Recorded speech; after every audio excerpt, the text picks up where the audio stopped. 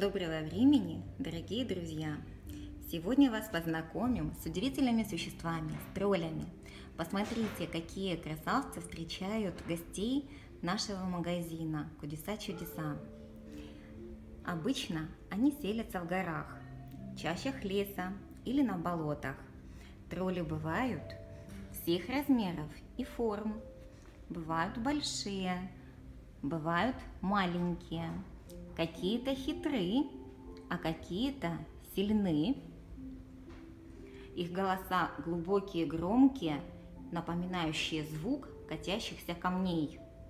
Знаете ли вы, где можно встретить троллей в городах? Откроем вам небольшую тайну.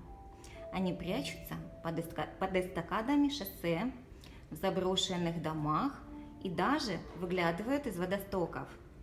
Чаще всего Тролли выходят из своих укрытий ночью или в сумерках, потому что не выносят солнечного света. Ведь если луч света коснется их, то он тут же превратится в камень.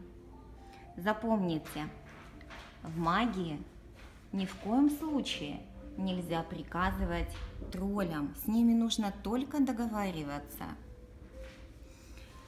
И тогда они дадут вам защиту, посвятят свои секреты, касающиеся магии гор, работы с металлами и механизмами, помогут в борьбе с врагами и для удаления препятствий.